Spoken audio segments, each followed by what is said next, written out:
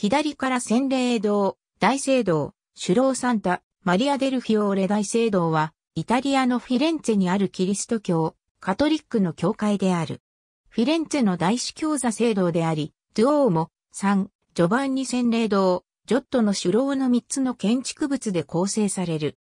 教会の名は、花のマリアの意である。大聖堂配置図巨大なドームが、特徴の大聖堂は、イタリアにおけるバンキゴシック建築及び、初期ルネサンス建築を代表するもので、フィレンツェのシンボルとなっている。石積み建築のドームとしては現在でも世界最大である。このドームは予算削減と耐久性を考慮し、二重構造のドームで互いを押し合う設計になっており、際、建物の主軸はほぼ東西に通り、西に八角形の洗礼堂、東にラテン十字の平面を持つ大聖堂が並び、両者の正面玄関が整体する。大聖堂は東にイタリ聖書、西に正面玄関を持つ。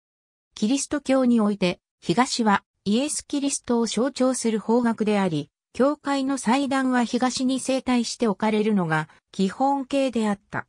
城は大聖堂の南西宮に配置されている。大聖堂の広場を隔てた東側には付属の美術館があり、教会の宝物やかつて外部を飾っていた美術品が収められている。三つの建築物とも世界遺産フィレンツェ歴史地区の一部として指定されている。1296年から140年以上をかけて建設された。外装は白大理石を基調とし、緑、ピンクの大理石によって装飾され、スコブル、イタリア的なゴシック様式に仕上がっている。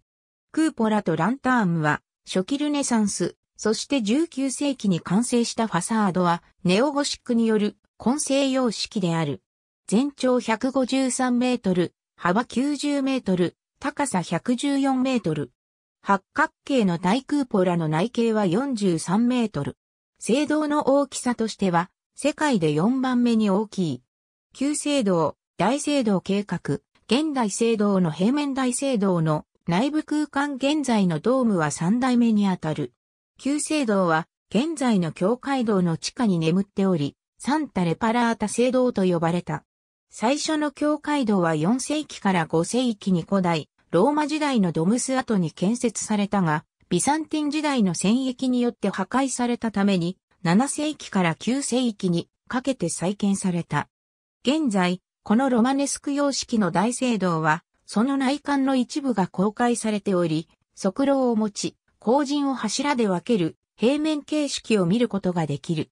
14世紀に至るまで、建築、芸術の双方において主導権を握ることのなかったフィレンツェだったが、ピサやシエナの大聖堂建立に触発されて、これをしのぐ大聖堂の建設を開始した。1294年、フィレンツェ羊毛業組合は、最も巧妙な彫刻家であったアルノルフォ・デ・カンビオに、その設計を依頼した。後に多くの交渉が携わったために、彼の最初の計画がどのようなものであったかは現在でも論争があるが、その形は現在のものとほぼ変わっておらず、中央部がサンジョバンニ洗礼堂の影響を受けて八角形であったこと、ローマカトリックの教会建築としては当時世界最大のものだったことは確実である。1296年9月8日の起工式において、サンタマリアデルフィオーレと命名され、建設が開始される。指標議会は、聖堂建設のために輸出するすべての物品に対し、関税を、市民に対しては、人頭税を課すことを決定した。しかし1302年に、アルノルフォが死去、建築は一旦中断した。大聖堂のための石材は、ベッキオ宮殿と第三紙壁のために転用された。建築依頼種であるフィレンツェ用農業組合は、建築責任者の公認を探し、1334年にジョットを指名した。彼は、首楼の計画を推し進めたが、塔の建築途中に死去した。1355年から再開された工事は、フランチェスコ・タレンティ、アルベルト・アルノルディ、ジョバンニ・ダンブロージョ、ジョバンニ・ディ・ラポジーニ、ネイリ・ディ・フィオーラ・バンテ、オルカーニャなどの手を経る。特にタレンティは、1357年から1366年にかけて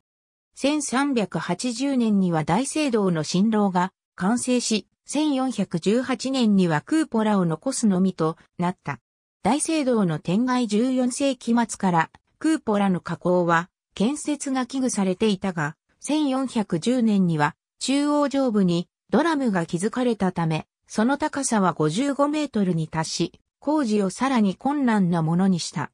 記録には1417年までに様々な人物による図面や模型のやり取りが残されている。1418年8月19日、クーポラの模型公募の布告が行われ、ロレンツォ・ギベルティ、フィリッポ・ブルネレスキとドナテロ、そしてナンニ・デ・バンコの案の応募があった。ドームを築くには巨大な足場と仮枠が必要で、非常な困難を伴うと考えられていたが、ブルネレスキは独立した二重の構造を持つドームを仮枠なしで築く案を提出した。二重構造では重量が増し、危険ではないかと批判を受けたが、最終的にブルネレスキの案が採用された。1420年4月16日、ブルネレスキは工事責任者に任命されたが、彼の手腕を不安視する意見があったため、ギベルティとバッティスタ・ダントーニオも建設責任者として指名された。1420年8月7日、建設が開始され、1434年8月30日には、クーポラ、頂東部の沿岸が閉じられて、一応の完成を見る。これにより、1436年3月25日には、教皇エウゲニウス4世によって、大聖堂の剣道式が行われた。このクーポラは木の仮枠を組まずに作られた世界で最初のドームであり、建設当時世界最大であった。ブルネレスキはクーポラを完成させたが、クーポラ頭頂部に乗せるランターンについては1436年12月31日に承認されたデザインのみで建築方法を考えていなかった。そのため、新たにランタンを乗せる方法についてのコンテストが行われた。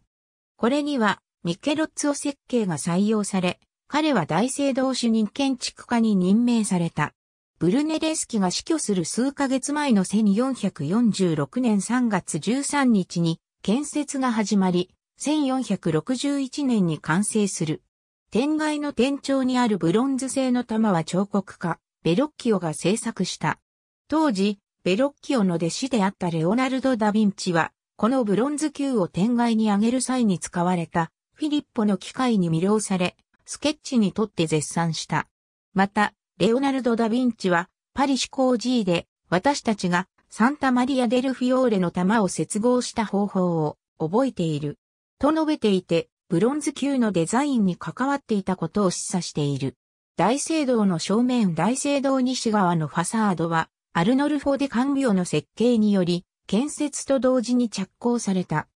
カンビオの死後、その設計に基づくファサードは下部のみが完成した状態であった。しかし1490年代には、このファサードは堅固でないという報告がされた。ロレンツォ・デ・メディチによって、ファサード再建が定義され市民はこれを支持。様々な芸術家によって、再建案の議論が重ねられたが、結論は出なかった。1587年にメディチ家のトスカーナ大公フランチェスコ一世の命で建築家ベルナルド・ブオンタレンティがファサードを撤去した。これはフランチェスコ一世が構想したフィレンツェの都市計画の一環だったが、ブオンタレンティのデザインしたファサードに非難の声が上がり、計画は実現しなかった。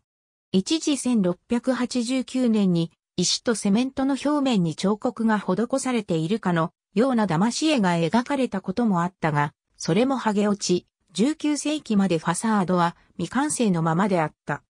そこで、フィレンツェの自治体は、最初の構想をもとにファサードを再建することを決定。1864年にコンクールが行われ、エミリオ・デ・ファブリスによる新しいファサードが建設された。この建設は1876年に始まり、1887年に完成した。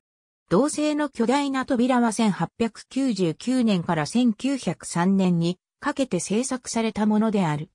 内部空間はイタリア独特のゴシック様式で簡素である。しかし、それだけにギベルティなどが1432年から1445年にかけてデザインしたステンドグラスや1526年から1660年にかけて作られた大理石の床、その他の装飾品、大聖堂天外の土産、最後の審判大聖堂内部の装飾。また、この他、ルーカ・デ・ラ・ロッピアとドナテロによる聖火体石などの貴重な装飾品は、ドゥオーモ付属美術館に収められている。大聖堂へはいつでも無料で中に入ることができる。地下部分にはサンタレパラータ聖堂の遺構への入り口がある。高さ90メートルのクーポラ頂上までは日曜日以外ならば1人6ユーロで登れる。階段464段である。大聖堂のミサはほぼ2時間おきに行われる。日曜朝11時のミサは、新郎中央の大祭壇で指式される。その他のミサは、左脇の礼拝堂で行われている。大聖堂附属博物館は、かつて大聖堂内部あるいは外部に安置されていた彫刻などを所蔵している。フィレンツェのピエタ。ありがとうございます。